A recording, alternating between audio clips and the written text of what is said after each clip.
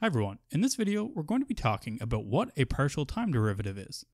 So, let's assume that we are examining this cube in space, and we are trying to determine the amount of blue spheres that are in our box at any given time. Well, this is a concentration, right? It's an amount of something over time. So what variables affect our concentration here? Well, we are going to have our spatial coordinates and time.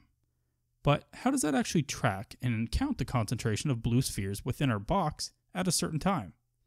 One method is holding our box, that is, our spatial coordinates, constant. This is going to be a partial time derivative, as we are observing the change in concentration over the change in time while holding all other variables constant.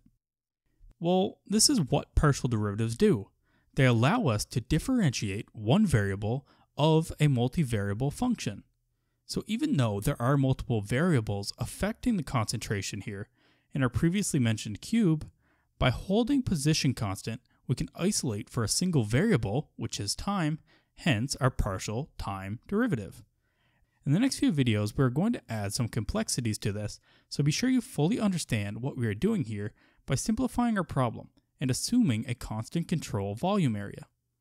Intuitively, this is why it is called a partial time derivative.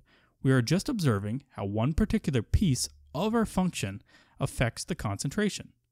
Therefore, it is a partial of some whole, and that whole is a summation of all other partial derivatives that affect our concentration of blue spheres in our control volume.